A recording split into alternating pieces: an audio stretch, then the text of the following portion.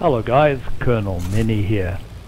I'll bet that after taking my flying lessons and doing some single player missions and perhaps a career mission that you feel like this. Your ego is up, your confidence is up, you're ready to tackle the world. So despite the testosterone, your lack of experience tends to make you feel more like this when you think about getting into the multiplayer world. So the purpose of this video is to show you how to go from this to this. And the only way to do that is to jump right in. But start off on a simple, beginner-friendly server first.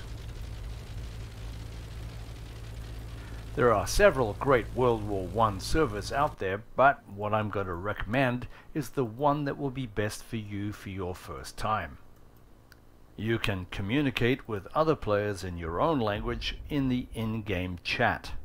Read the description to see what's going on and what the objectives are. Click on an airfield to find your aircraft. In this case we're looking at the air start. And our orders are to proceed to 0606 and uh, look for enemy aircraft. There are only two human players here, me and someone else, and the rest are AI aircraft. We'll choose our loadout and press start. So we're already airborne, we're flying east to west towards the patrol area.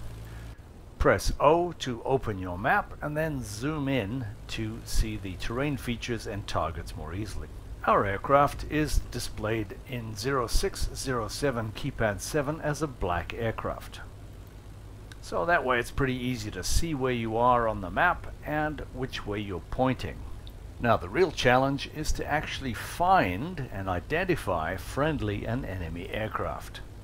The other great thing about this server is that you can press F2 and get a different view. And zooming in and out around your aircraft can help determine where you are and where the enemy are. But the server makes it easy by representing the enemy aircraft as red icons and the friendlies as blue icons. But don't rely on the icons to navigate. Learn to navigate. And don't rely on this information either.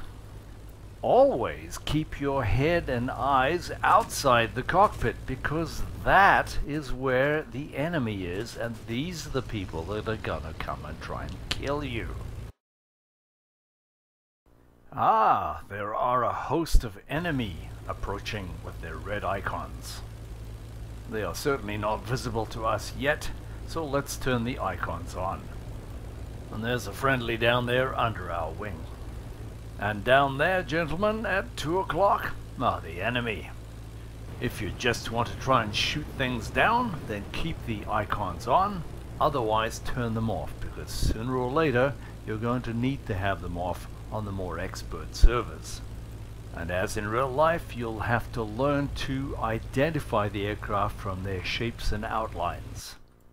Because people get quite annoyed with you if you shoot them down and they happen to be on your team.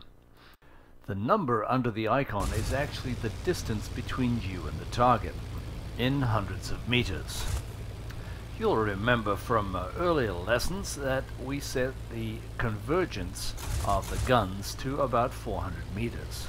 So to be the most lethal, you'd be looking at a distance of 0.4 or less. Another cool thing about using the icons is if you are flying up against a human player, then their name will show up on the screen.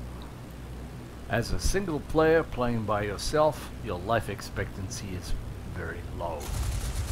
The next step is to establish voice communications via Discord with other players so that you can work together as a team to defeat the other team. If you've enjoyed this video and get some value out of it, please leave a comment and uh, subscribe and like and all those usual things. But if you want to see more of these videos, specifically with the IL-2 uh, Battle of Stalingrad, I've got about 150 training videos for you thanks for watching guys, we'll see you next time.